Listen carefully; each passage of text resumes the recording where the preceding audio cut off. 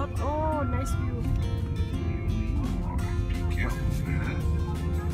This is this is what you can see the on a volcano.